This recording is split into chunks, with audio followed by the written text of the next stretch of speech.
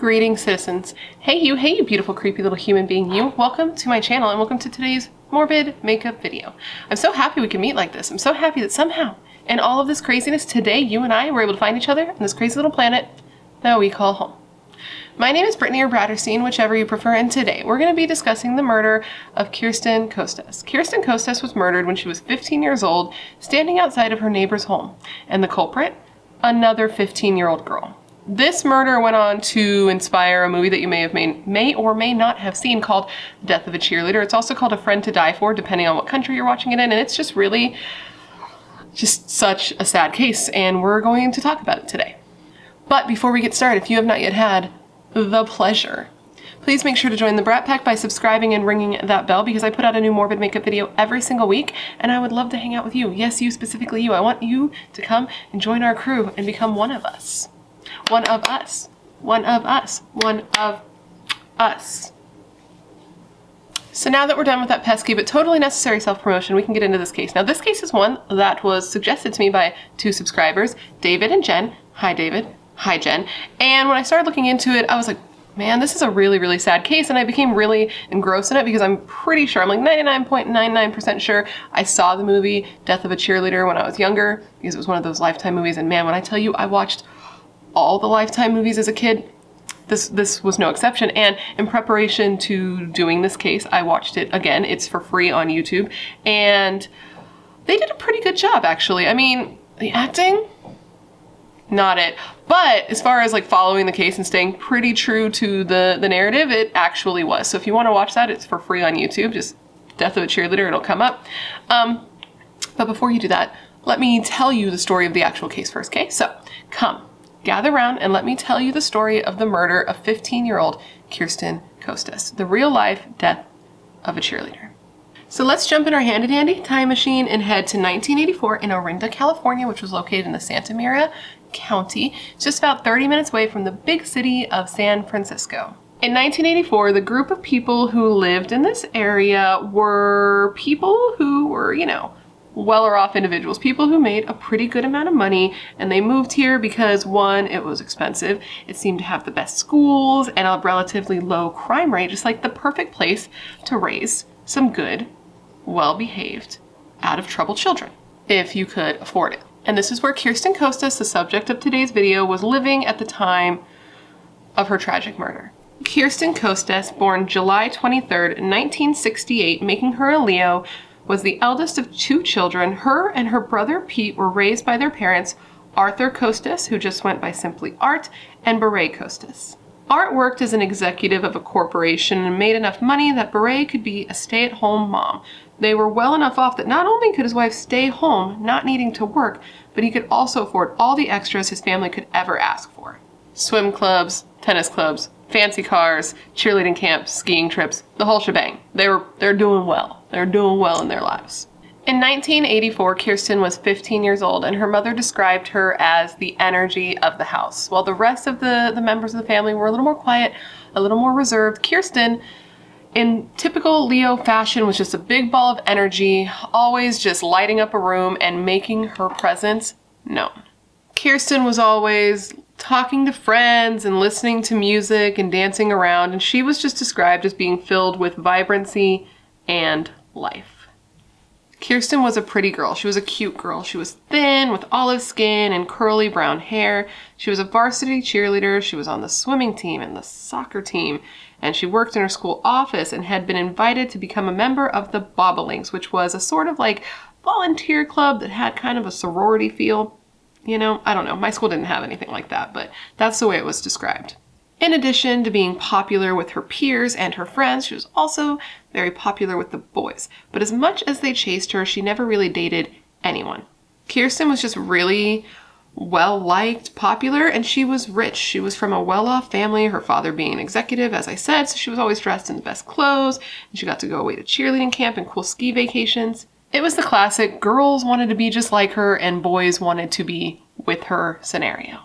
Of the girls who seemed to want to be just like Kirsten was another 15 year old girl named Bernadette Protti. Bernadette was a fellow 15 year old girl who attended Miramonte High School alongside Kirsten. Bernadette, like Kirsten, was a member of the swim team. She worked in the school office and she was also a member of the Bobolinks. Though the two were in several similar groups and clubs and had mutual friends, the two were not really friends, and Bernadette viewed this as Kirsten not really liking her. And she really wanted Kirsten to like her and wanted to be her friend.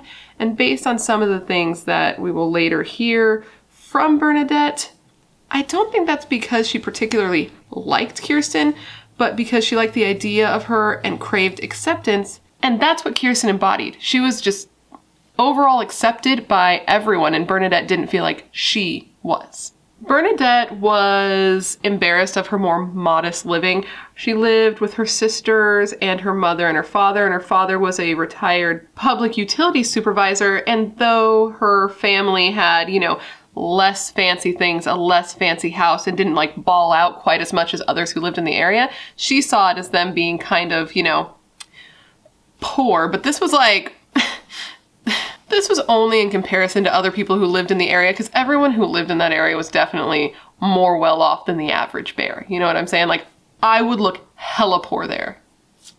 I would, I would look very poor there. Bernadette's family was financially fine. They had enough to get by. They just didn't have all the excess that, you know, other people in the area had. But Bernadette was really unhappy because she was surrounded by all of these really rich elite girls like Kirsten. And it made her, you know, question her self-worth and her self-esteem was already super low. In the spring of 1984, Bernadette had tried out for the cheerleading squad alongside Kirsten and she tried out, like she tried really hard to get into the squad because apparently at this school and this time cheerleading was a BFD, okay, big deal. Apparently cheerleading was taken very serious, very seriously in the school and before you could even try out, you had to write an essay telling them why you would be an asset to the squad, and then your parents had to agree to pay for your specialized uniforms and to send you to cheerleading camp, and this cost $500. And this is $500 in 1980s money. It just seems like a lot, right? And then once they tried out, the way that they'd find out that they won, okay, they'd have a whole ass ceremony for this, okay? It's kind of like when you watch old movies, and I don't know if they, my school, they didn't do this, maybe yours did, let me know, but in movies where somebody's being announced as prom queen and they have to like go up on a stage and do a whole thing. Well, these girls would be judged by a group of judges, and then they'd have that ceremony and they'd call their names, they'd pull them out of an envelope and call their names, and they'd go up on the stage and oh my god, and get flowers for cheerleading. That whole, that just seems very odd to me, but that's how it was. So Bernadette was very, very invested in trying out for the cheer squad. Sadly for Bernadette, she did not make the cheerleading squad, but Kirsten did, being described as the perfect cheerleader, and this made Bernadette take a giant hit to her ego and she felt incredibly defeated. And if it wasn't bad enough that she didn't get on the cheerleading squad, right after she was also denied a place on the school yearbook. And though these might seem like small potatoes to us, these were things that were incredibly important to Bernadette. Bernadette just never felt like anyone liked her or accepted her. So with every one of her perceived failures, her self-worth went down lower and lower. And with her self-worth going down lower, she felt like people liked her less and less. And acceptance and being liked was incredibly important to Bernadette Protti. So now that you have a little bit of a backstory on these girls, let's get in our time machine one more time and head to June of 1984. On the night of June 22nd, 1984, a call came into the Costas household that was answered by Kirsten's mother, Beret. The girl on the phone didn't identify herself, but we know now that it was Bernadette. This call came in at about 10 p.m., but Kirsten was not there to take this call because she was away at cheer camp because as I told you, it was mandatory. If you got into the cheerleading squad, you had to go to cheer camp. So Kirsten wasn't there to take this call. And it turns out that Bernadette knew that Kirsten wouldn't be there to take the call. That's why she called then, because she knew that if she had called and actually spoken to Kirsten, Kirsten likely would not have been receptive to this call. Bernadette informed Beret that the next night on June 23rd, she would be picking up Kirsten to go to a secret Bobolinks initiation dinner. And she wanted this to be a surprise. She wanted to surprise Kirsten with this, so she said just to have her ready, have her all dolled up, and that she'd be picking her up the following night. And with this, the call ended. The following night, June 23rd, Beret, Art, and Kirsten's brother Pete were all out of the house at a dinner for Pete. I think it was some sort of sports thing. So Beret called in at the house to say goodnight to Kirsten at about 8.30, saying, you know, I love you, have fun, I'll see you later tonight, and then hung up the phone, not knowing that would be the last time she would ever speak to her only daughter. While this was happening, Bernadette Protti was being driven by her father to a house that was not far from her own family home where she had told her parents she was going to be babysitting that night. Bernadette then convinced her father, who had driven her over that night, to leave the car with her even though she didn't have her driver's license yet. She said that because she was going to be babysitting alone, that having a car in the driveway would make her feel safer because if there was any sort of burglar or something, they would see a car in the driveway and assume there were adults home. And after a little bit of persuasive, her father agreed to this and walked the short walk home, leaving Bernadette with the family car. Shortly after that, Bernadette arrived at Kirsten's home. And at first, Kirsten was not like totally thrilled to see Bernadette. She was like, oh, it's you. Yikes. But Bernadette then informed her that like, okay, we're not really going to a Bobolinks party. We're going to go to this super cool, unsupervised house party. And with a little persuasion, Kirsten got in the car and the two rode off together into the night in Bernadette's family's beat up orangish colored Pinto. What I will now tell you is Bernadette's account of what happened that night. As I said before, the whole reason that Bernadette had made up this story about the Bobolinks having an initiation dinner was a cover for Kirsten's parents so that the two of them could go to that super cool unsupervised house party. And the reason that Bernadette wanted to do this and wanted to like trick Kirsten, get her out of the house to go to this party, is because she wanted to finally forge a friendship with Kirsten. On the way to this party, the two ended up pulling over in a church parking lot because Kirsten wanted to smoke a little weed before the party. And it was while parked in this church parking lot that an argument ensued between the two girls that ended in Kirsten telling Bernadette that she was super weird for, you know, lying to get her out of the house, trying to get her to this party, and because Bernadette would not smoke with her. Bernadette said that Kirsten made her feel dumb for being a square and not wanting to smoke with her, and then Kirsten got out of the car to try to find her own way home. Bernadette then saw Kirsten walk over to the home of one of Kirsten's family friend's house. This was Mary Jane and Alex Arnold. They were friends of Kirsten's parents. And she knocked on the door and was like, hey, can I make a phone call? I need to call my parents to pick me up. And when the Arnolds looked out, you know, down out out behind Kirsten, they saw a girl with a roundish face and light brown hair standing behind Kirsten out at the street. When Kirsten was in the house, she first tried to call her parents, but found that they still were not home yet, so she then asked if the Arnolds wouldn't mind giving her a ride home because her friend had gone weird on her. They agreed, and Mr. Arnold started to drive Kirsten home, and this is when Bernadette followed behind Mr. Arnold's car in her Pinto. While driving, Mr. Arnold noticed that they were being followed and was like, you know, what's going on? What's up with that? And Kirsten said not to worry, it wasn't a big deal. She didn't seem to be scared or nervous. She just seemed to be a little bit upset. And while Bernadette was following behind Mr. Arnold and Kirsten in the car ahead of her, she casually noticed that inside her car there was a giant knife. So once Bernadette saw that Kirsten was dropped outside her neighbor's house, she was dropped off at her neighbor's house because her parents weren't home yet and she didn't want to be home alone, Kirsten got out of the car, she took the knife with her, she ran up to Kirsten and she just started stabbing her. So while this was happening, Alex Arnold had parked across the street and was watching Kirsten walk up to the house to wait to make sure she got inside because this is what a good person does. But while sitting there, this is when he saw the attack. At first, Mr. Arnold thought that the girls were just in a fist fight. Like he saw Bernadette run up on her and he saw them start scuffling and he thought they were in a fist fight. But then Kirsten went down to the ground. You know, she's, she's being stabbed. And this is when he saw the shine of the blade and realized that she was in fact being stabbed, but everything happened so fast that Bernadette was done and took off on foot to her car. So Mr. Arnold was like, oh shit, I should probably follow this girl. And he started to follow the Pinto in his car for a short period of time before he realized, oh shit, Kirsten might need help. And he headed back to try to aid injured Kirsten.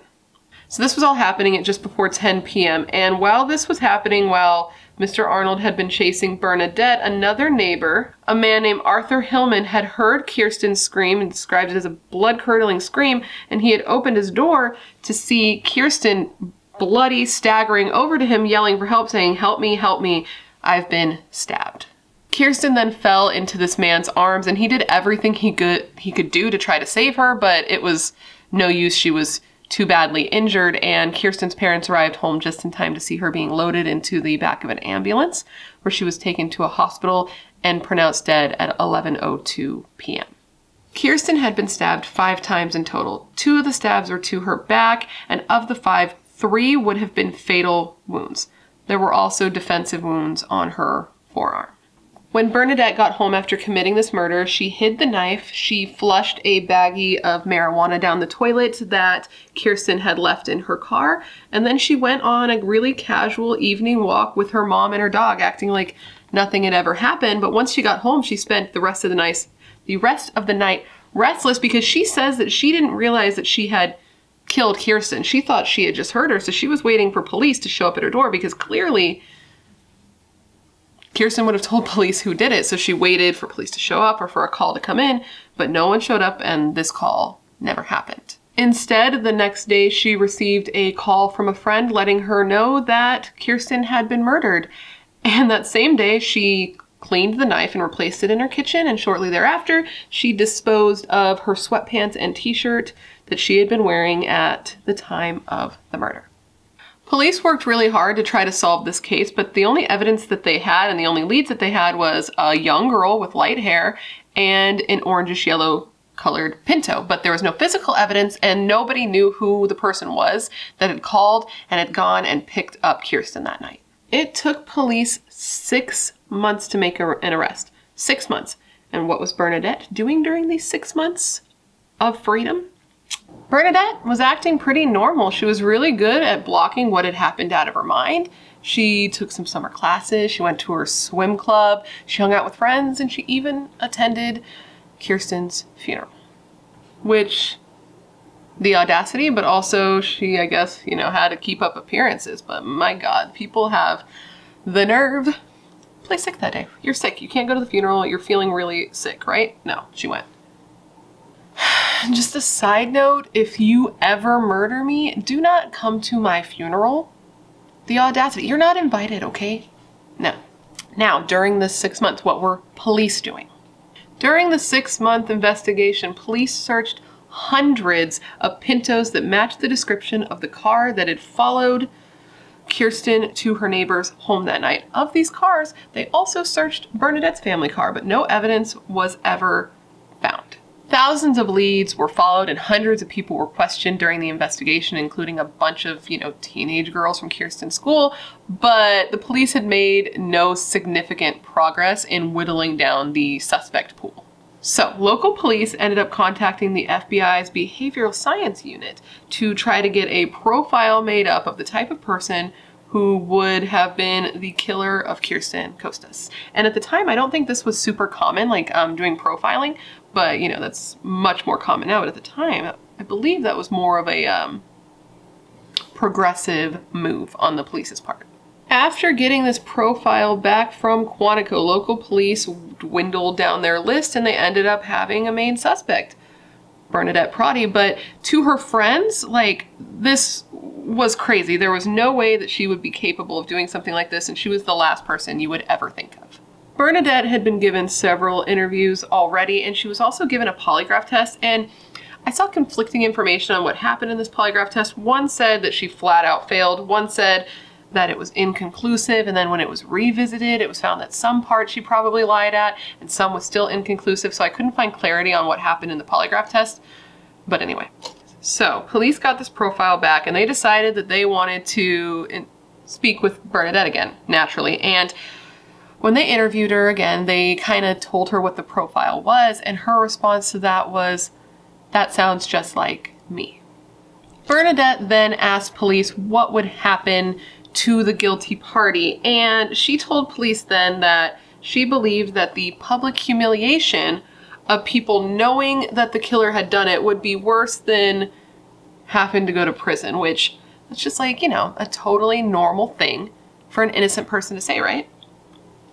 Somehow, after all that, the police still let her leave, but Bernadette went home and got very in her feelings and she started to write down how she felt in, in a list form, which you know what? I bet you this girl was a Virgo. Let me see if this girl was a Virgo. September 20th. Freaking Virgo. Virgos write lists. I have a Virgo moon. I live on lists. Anyway, her list said, and I quote, Number one, I have caused a lot of hurt and pain to a lot of people. Number two, I don't want to hurt people anymore. Number three, I want to go to heaven when I die. Number four, I regret what I did. Number six, if I kill myself, I will hurt people even more. Quotes, my family. I think I could kill myself. I would go to hell if I killed myself. I would rather kill myself than go on living if people knew. Although it's incredible, my parents are saints who would forgive and love me. Though Bernadette had been good at hiding what had happened and how she had been feeling, the pressure was starting to get to her, and after a few days, she had finally broke. She was feeling guilty, she knew the police were onto her, and she just couldn't take it anymore. I don't know how anybody can keep a secret like that. I really, I really, really don't. On December 10th, 1984, Kirsten had written a letter confessing what she had done and addressed it to her mother. As she left for school, she left the letter on the counter and she asked her mother, please don't read this until 30 minutes have gone by after I've left. And her mother was like, yeah, cool. I, I wonder what was going through her head at the time, but I'm certain it was not this. The letter read as follows. Dear Mom and Dad, I have been trying to tell you this all day, but I love you so much it's too hard, so I'm taking the easy way out. The FBI man thinks I did it, and he is right. I've been able to live with it for a while, but I can't ignore it. It's too much for me, and I can't be that deceiving. Please still love me. I can't live unless you love me. I've ruined my life and yours, and I don't know what to do, and I'm ashamed and scared. Please don't say how could you or why because I don't understand this and I don't know why.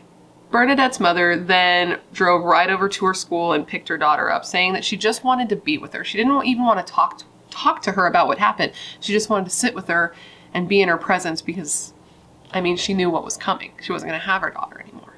After that, Bernadette, her mother, and her father all drove to the police station where Bernadette gave a full confession.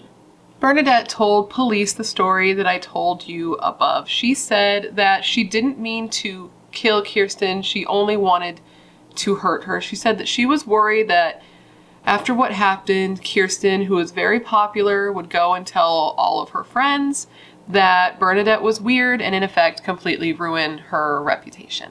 And that was a devastating thought to her because she had worked so hard on being popular and well liked, and that's all she wanted. So when Kirsten rejected her, she just snapped and got super angry. And she said that she continued to get more and more angry as she approached Kirsten. Kirsten was like, Get away from me, get away from me. And the continued rejection made her even more angry. She said that she can't explain why it happened, why she made the choice that she made. She said that she wasn't in her right mind, and if she had been, she obviously would not have made the choice that she made. But to be honest, it did seem like Bernadette had a little bit of resentment towards Kirsten. She's told police that the two of them had been on like a ski trip and that Kirsten had been sort of rude to her and said something that implied that her family was too poor to afford to buy her nice skis and nice ski clothes for the trip.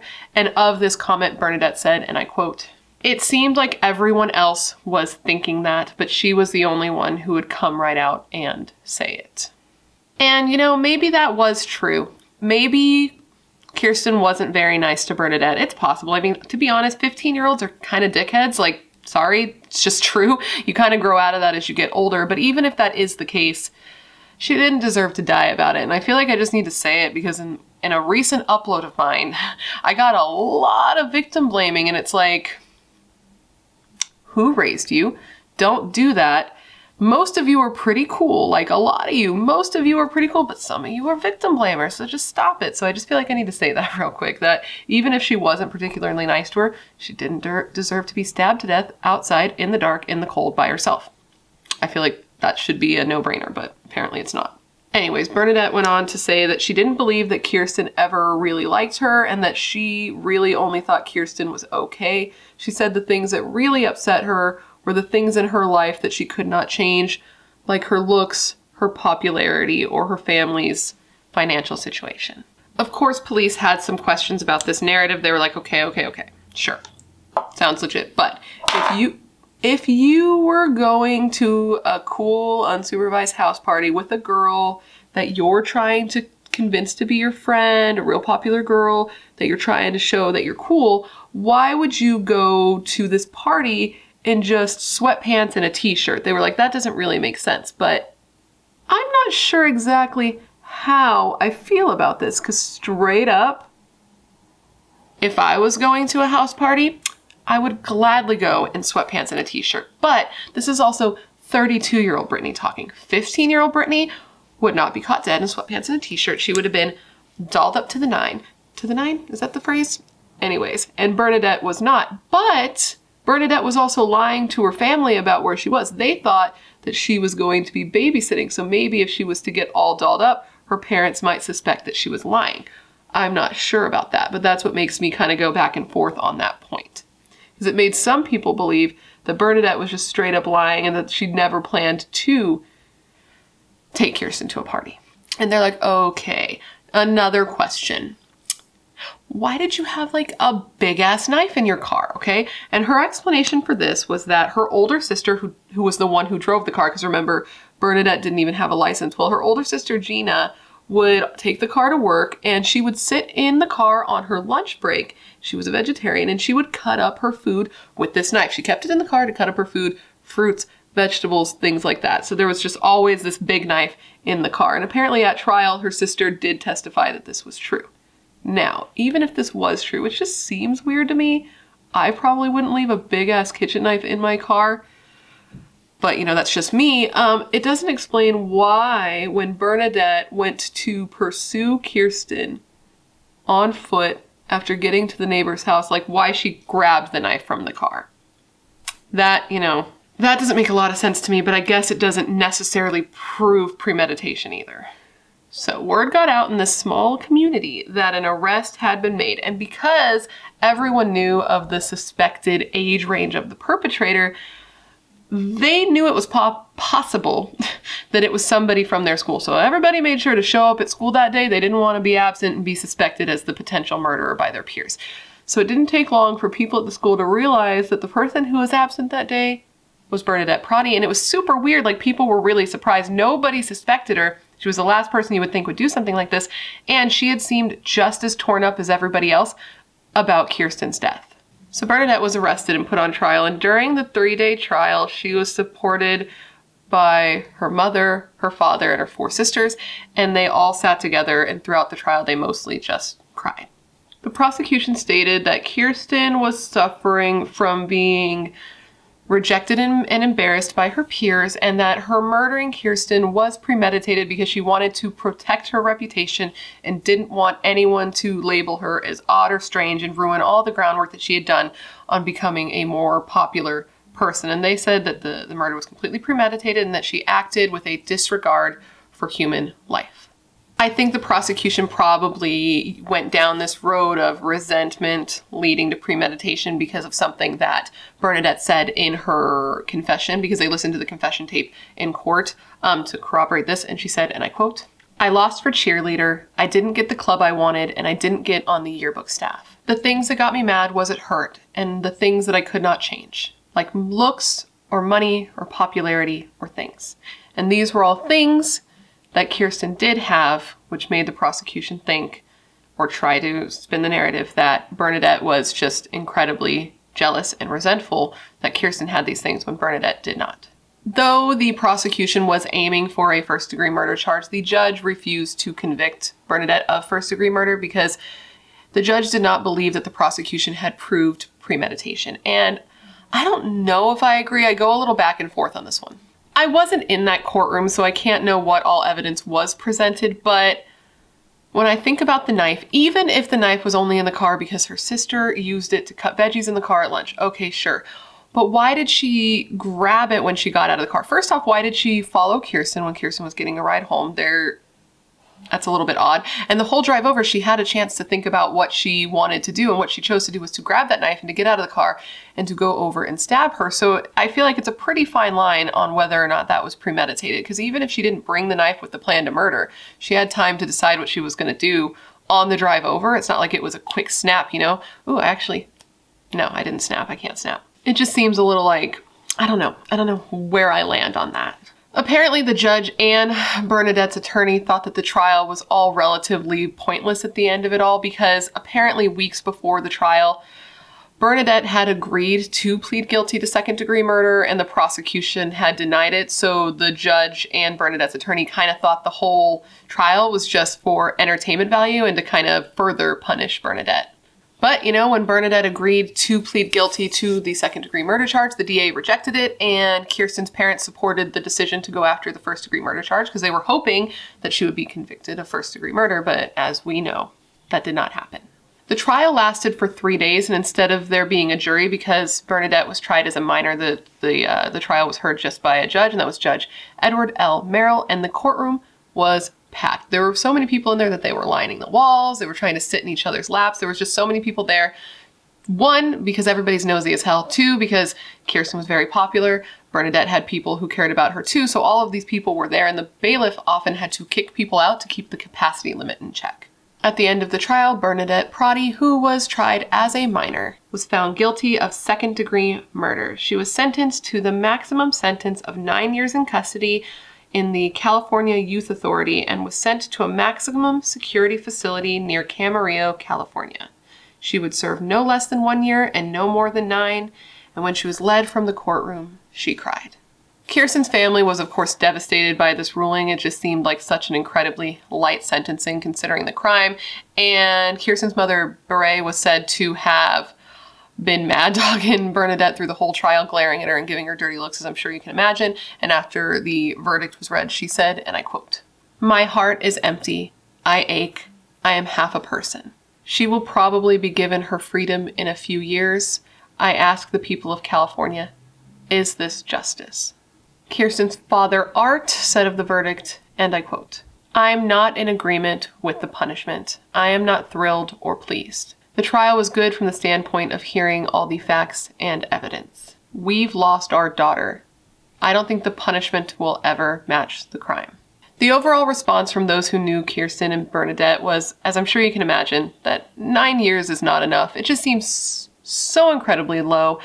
And it's kind of crazy, actually, to consider that somebody could kill somebody and get such a low sentence. But she was tried as a minor, which is why it was so low. It just seems it just seems crazy that the sentence would be so low when what she did was so horrible. And to answer Kirsten's mother as a citizen of California, no, this doesn't feel like justice. Bernadette tried to parole a few times, but finally on June 10, 1992, when she was 23 years old and after serving only seven years, she did get paroled and was released from prison. She was then released from supervision altogether at the age of 25 and moved out of state with her family. Kirsten's family actually did end up relocating. They left Orinda, California and moved to Hawaii.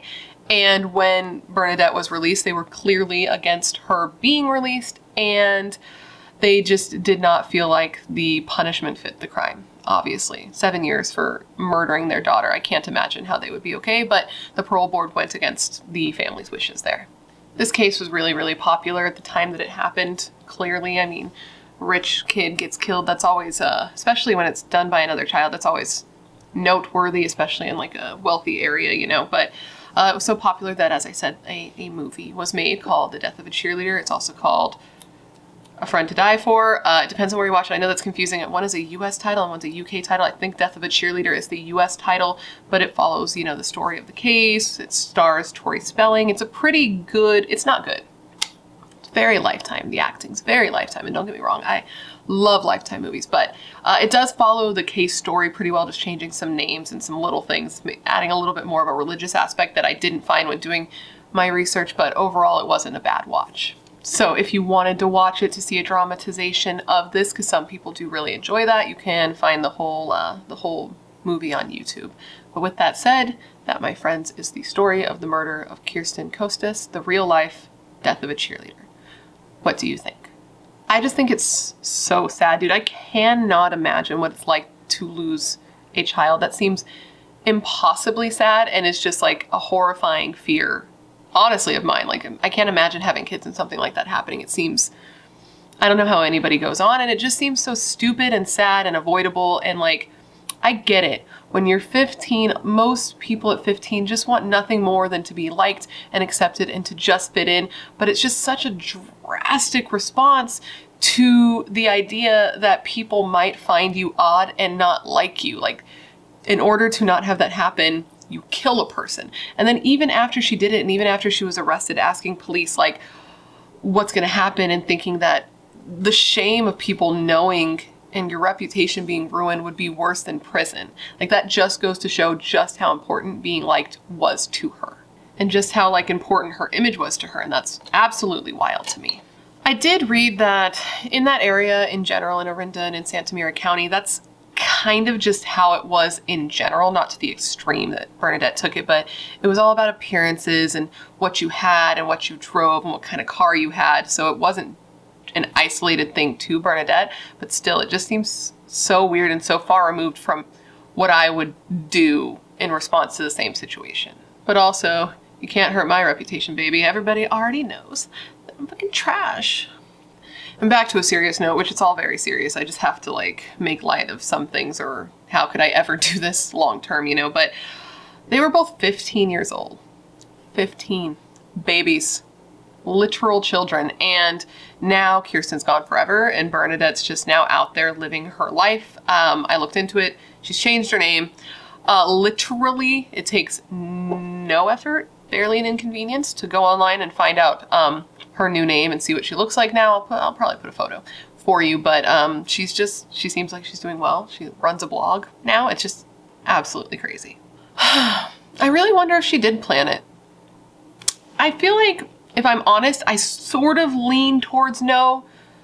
I feel more like it was probably a response to the fear of being rejected. I don't know if she went out that night with the intention of murdering her. I just, for some reason, I have trouble believing that. It seems like a pretty drastic plan, but then again, I don't know her. Maybe that's the type of person she was, but I did try to look into it and see if there ever even was an actual party that night because I thought that that, there's cat hair on my face. I thought that could shed some light on my, you know, on what was happening and my opinion could be swayed with that, but I couldn't find anything that said if there actually was a party, which leads me to believe that there was a party because I believe if there wasn't a party, it would have been heavily publicized that she lied about there even being a party to get her out of the house. I feel like that would be noteworthy. So my suspicion based on the evidence and what I've read is that there was a party. So it's just crazy and sad, man. I don't know what to tell you, but Anyways, guys, that completes this video. I hope that it was interesting and informative and gave you all of the information